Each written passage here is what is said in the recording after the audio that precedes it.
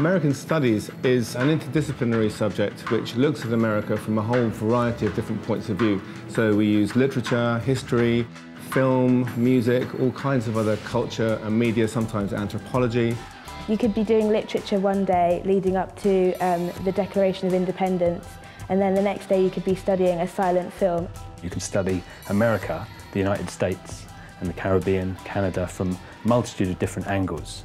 Because it's a four-year course, already I feel like I've learned so much just in the year and kind of a half that I've done so far.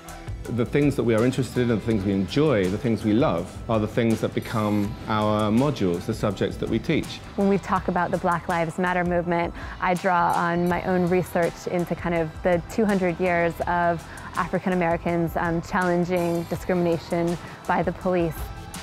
One of the main reasons I picked American Studies is because of the integral year that you do abroad. Your American year is influencing your study because you have to choose from one of the over 50 institutions that we have.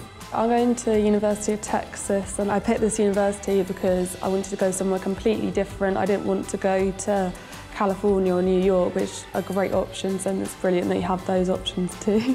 I wanted to learn about a completely different culture to my own in a massive American university with huge football games and fraternities and sororities.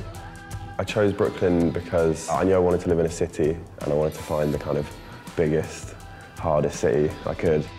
One of the best things about American Studies from an employability perspective is that you're being a historian, you're being a literature student, you're thinking about culture and music, and so therefore you come out of it very versatile and able to deal with a flexible workplace. In my fourth year, I really want to narrow that down. I'm already thinking about kind of going into journalism or into making documentaries. The biggest contributing factor to the rest of my working life will probably be the year abroad. You, you learn so much, not only about living abroad and being uh, in a different academic environment, but you learn a lot about yourself, and you learn to be very independent and learn to deal with situations that you've never, you never think you would ever be in.